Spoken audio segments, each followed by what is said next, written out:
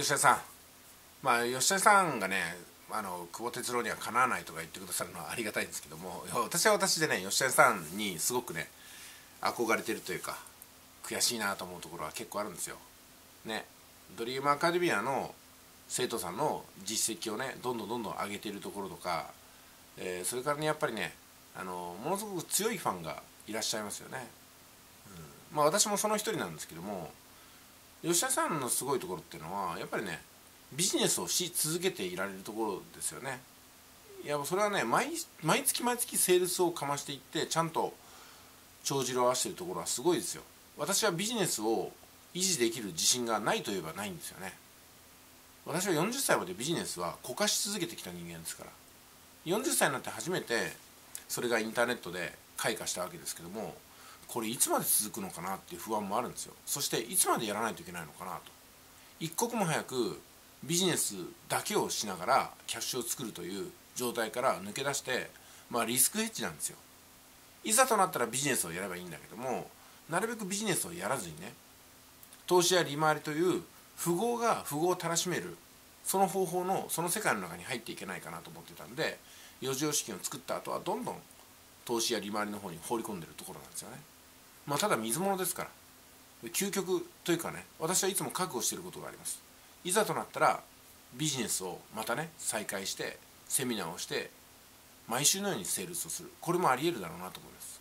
もっと言ったらですねそういうのも抜きにしてまた労働者に戻ることも覚悟してるんですよ。ですので私は固執してません。投資や利回りしかしないよってこともありませんしビジネスをガンガンするぞというふうに自分を固定化することもないしできる限りの手段を最大限打っていこうかなっていうとこですよね。まあそんな感じとあとは吉谷さんに学ぶところも多くてね、うん、やっぱり私のやってることを言葉にしたのが吉谷さんの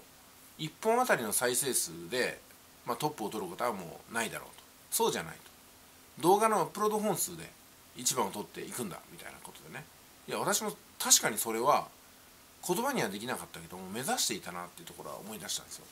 誰よりも動画を撮ることによって1本あたりの収益が低くてもたくさんの人に認知される可能性が高まること。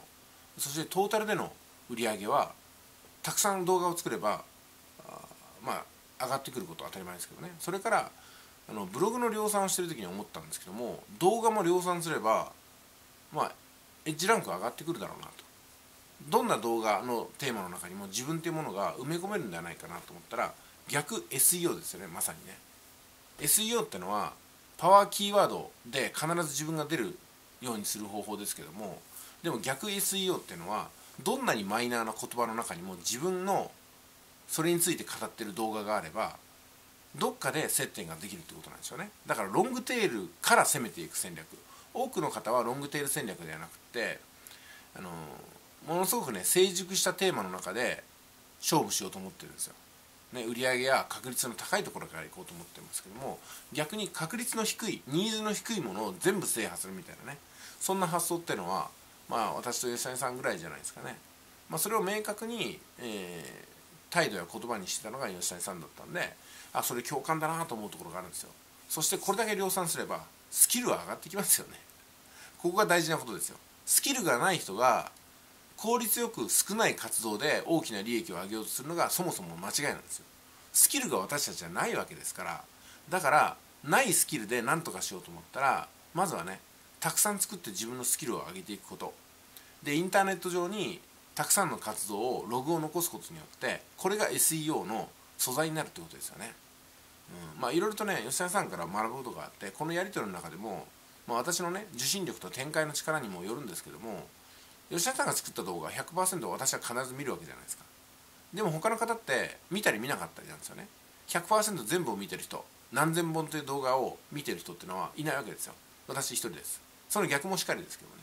そうなってくると誰よりも私は吉谷さんのエッセンスを吸収してドリームアカデミアでね語られないほどの学習をさせてもらってるってことになりますしそれは逆に言えて私のやり取りが吉谷さんに何かね気づいていただける内容とかもあるでしょ。う最近で言ったら展開っていう言葉ですよね。その展開って言葉にまさにあこれのことなんだよみたいにね思っていただけることがあるんじゃないかなと思います。これはやり込んだからこそお互いにこの展開というたった2文字の中にねいろんなものをこう広げていくことができるのかなと思いますよね。吉田さんもたった一言をポンとお題で与えたらそこからね無限に展開していってずっとお話しすることができると思いますしその話がまたねもっと聞いてみたいっていうふうに人を引き込ませるようなそんなエッセンスも入れてると思うんですよ。それはもう数限りなくやってきた。顧客対応をむちゃくちゃやってきた。人の問題解決にその人本人以上に向き合ってきた結果だと思います。そうなんですよね。なんかね吉谷さん私たちの商売やってることって他人事なのに本人以上に本気でしょ。ここですよね。だって自分のお金の問題解決を優先的にしたいのに他人の問題解決をすることによって結果的に自分の力がつくみたいなね。だったら問題を抱えてらっしゃる方っていうのは助けてくださいっていうふうに助け舟を求めるよりも人の問題解決に一生懸命になった方が実力がつくんじゃないかなと思えるぐらいですよ。まあ全てがパラドックスですよね。それではいってらっしゃい。